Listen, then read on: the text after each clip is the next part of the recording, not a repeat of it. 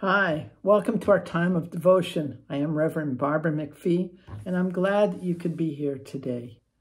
Our call to worship this morning sing to God a new song. The faithful love of God fills the earth. By the word of God, the heavens were made, by the breath of God's mouth. The stars formed. The faithful love of God fills the earth. God collects the waters of the sea like a dam. God stores away the abyss in the divine treasure house. The faithful love of God fills the earth. Let the whole earth honor God. Let all who dwell in the world revere the Holy One. The faithful love of God fills the earth. The moment God spoke, the earth came to be. No sooner had God commanded than there it stood the faithful love of God fills the earth.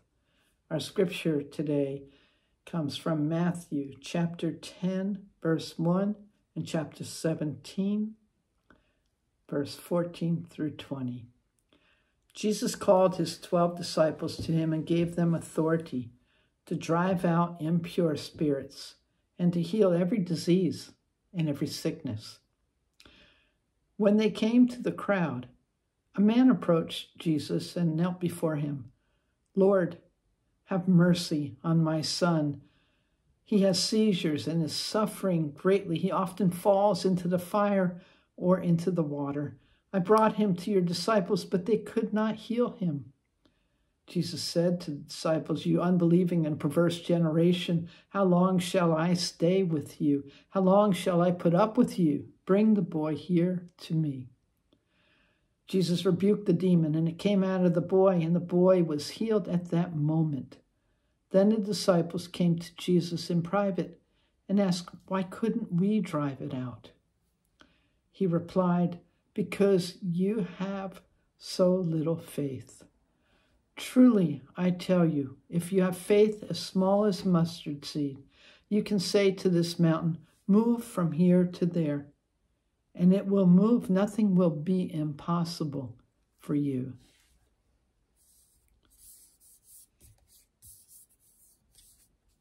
In Matthew 10, we read about the power that Jesus gave his disciples to cast out demons, raise the dead, and heal the sick. The disciples were able to do this many times until we see them in Matthew 17, where they failed to cast that demon out of the young boy. After Jesus did what they could not, they came to him privately to ask why. And Jesus said to them, Because you have so little faith. Truly, I tell you, if you have the faith as small as a mustard seed, you can say to this mountain, Move from here to there, and it will move. Nothing, nothing will be impossible for you. When I think about moving mountains, I think that the mountains I have to move are those within me that block me from moving other bigger mountains. In reading the story of the mustard seed in Matthew, it seems to me that the first mountain the disciples have to move is the one that inhibits their faith. Jesus tells the disciples that they could not heal the boy because their faith prevented them from doing so. If you have faith, you can move mountains. There's such an empowering, this is such an empowering verse because of its encouragement. We too have to move that mountain that is blocking our faith. We have to do that first before we can hope to move any other mountain. Growing in our relationship with our Lord enables us to trust, to love, and to believe that our faith is enough to move mountains even those that seem immovable. Other mountains that I believe we have to move are those that prevent us from loving and forgiving one another as God loves and forgives us. Imagine if everyone was willing to move those mountains, how beautiful and healthy the world would be. Moving mountains like that from our lives enables us to help others move their mountains the same way through faith that comes from loving, trusting, and believing in the Lord. If we believe in the Lord, nothing we have been given to do will be impossible for us. Nothing Jesus has given us to do will be impossible because we have faith that Jesus is working in us. Our meditation for today the faithful love of God fills the earth. So, feet flat on the floor, hands in your lap or on a table. Relax. Take a deep breath in and out. The faithful love of God fills the earth.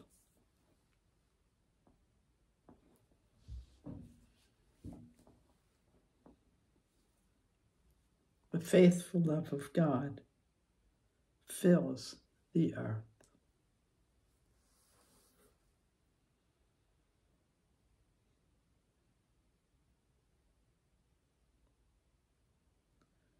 The faithful love of God fills the earth.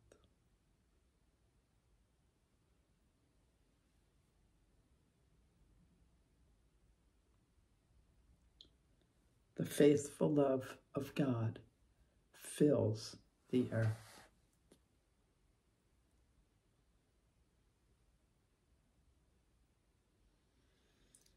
The faithful love of God fills the earth.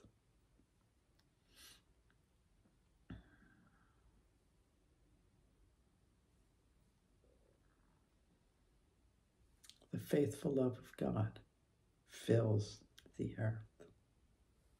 Let us pray. Dear God, we thank you. We thank you for the many ways you bless us. We thank you for scripture that teaches us how to live and how to give, how to love, teaches us about faith, teaches us how to move mountains, how to care for one another, how to love one another. Dear God, we come to you today with our joy. We're joyful that we live in such a good community we are joyful that we have relationships. We are joyful, Lord, that you that you call us together as a as a as a church, as a community. You call us together as friends, as family. You call us together in different groups. And we are so thankful of that. Dear God, we're we're thankful for your healing mercies for people that we know that have gotten better, for Chrissy, who is improving after her stroke, for people who are survivors of breast cancer or other cancers that we know. We, Lord, come to you also with our, our hurt and our sadness. We are, are sad, many of, of us who um, who just recently found out that our brother in Christ and our friend John passed away.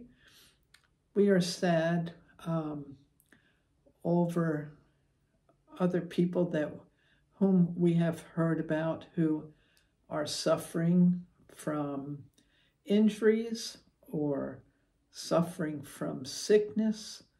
We pray, God, your healing mercies on them. Oh God, we pray for your mercies on all of us. Help us to be better people. Help us to learn how to care for one another. We pray for all of those who are in hospital or care facilities, nursing homes, animal clinics, animal hospitals. We pray, Lord God, your healing mercies. For all caregivers, God, we pray your strength and your peace be with them. Oh God, for all, for all who are dying, for all who have lost loved ones, we pray your healing mercies. God, we pray your healing mercies for all who have been abused, for all who have anger management issues, for all who have obsessions, for all who have compulsions, for all For all who have addictions, we pray your healing mercies. We pray, dear God, for our country. We pray for the world. We pray for peace. We pray for all those places where there is not peace. Lord God, help us. Help us to move mountains. And we know that the mountain we have to move is the one blocking our faith, the one blocking us from loving and for, for caring and forgiving the, the way the, the, the way that we need to, the way that you show us. Help us, please. We pray for traveling mercies, Lord, for all who travel. And we pray now the prayer that you have taught us to pray, saying, Our Father who art in heaven, hallowed be thy name. Thy kingdom come, thy will be done on earth as it is in heaven. Give us this day our daily bread, and forgive us our debts as we forgive our debtors. Lead us not into temptation, but deliver us from evil. For thine is the kingdom and the power and the glory forever. Amen. Our thought for the week as long as we have unsolved problems, unfulfilled desires, and a mustard seed of faith, we have all we need for a vibrant prayer life. That's from John Ortberg. And our benediction the Lord bless you and keep you. The Lord make his face to shine upon you and be gracious to you. The Lord lift up his countenance upon you and give you peace. Amen.